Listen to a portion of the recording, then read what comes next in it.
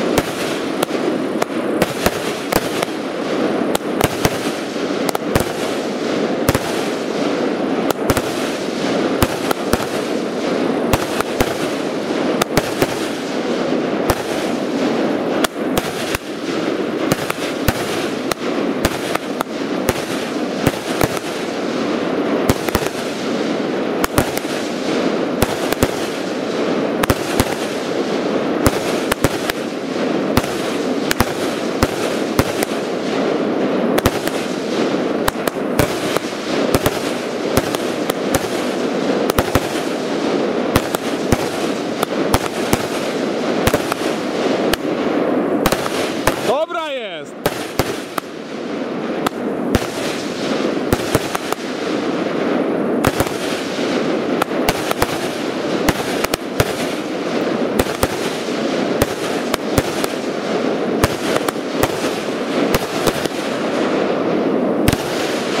Ale napierdala. Nie miała finału, ale szpachla, zwróciłeś uwagę na jedno? Fajną miała choreografię, jak to można tak nazwać y, przy tej wyrzutni. Nie, to nie było tak, że ta wyrzutnia strzelała pa, pa, pa, pa, pa, wolno, szybko i finał, tylko tak, najpierw strzela sobie po parę pocisków, później strzela na przykład dwa pociski, dwa pociski, dwa pociski, później strzela tak po trzy, cztery pociski.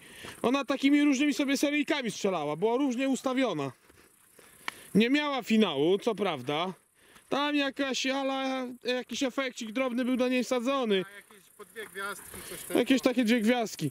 Jeśli chodzi o głośność, super głośna nie jest, ale to jest 20 mm. Do, dość długo strzelała i to na pewno nie było 20 sekund, tak jak e, producent tu z boku napisał. 32 sekundy były. E, 30, tak, liczyłeś? 34, no nie, 34. Weź ją z boku, pokaż, pokażemy tutaj. E, z tej strony, gdzie miała te informacje, wiesz, nie ten, nie z tyłu, tutaj o tą stronę pokaż. I tutaj mamy informację, jest 20 a, sekund, czekaj, świeć na chwilę na nią, bo mam e, manualną ostrość ustawioną, muszę sobie, wiesz, złapać sam. O. O, widzicie? Jest 20 sekund. I firma jest tutaj, na firmę jeszcze zaświeć. Taka firma jest. Zaferata.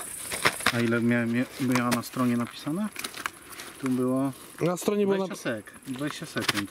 Strzelała ile? Z 40 sekund. No, Trzeba będzie na filmie zobaczyć. powiem ci, że wyrzutnia ogólnie dość fajna. Bardzo fajnie. No ale cena mniej więcej 180 zł. 180 zł. To El Titanio. El Titanio od Extrema stuszowa kosztuje około 160 zł. Jej nie testowałem, ale mniej więcej tyle kosztują właśnie e, te wyrzutnie. Więc jeśli ktoś lubi wyrzutnię hukową, tak sobie odpalić, byle odpalić, czy nawet bez okazji, to można. Ja jej dałbym takie 7 na 10. No, 7? No, Go. 7. A killera ty jak? Bardzo dobre. Musisz się uczyć, musisz się uczyć, nauczymy cię. Szpaka kiedyś też był taki cichy i skromny. No. My robimy cię. Jak? Ja bym dał 9 na 10. No. No i gitara. Ok, okiem laika, tak? Okiem laika. Zobaczysz później, wyrobi się. Więc trzymajcie się ciepło. Na razie. Na razie. Na razie.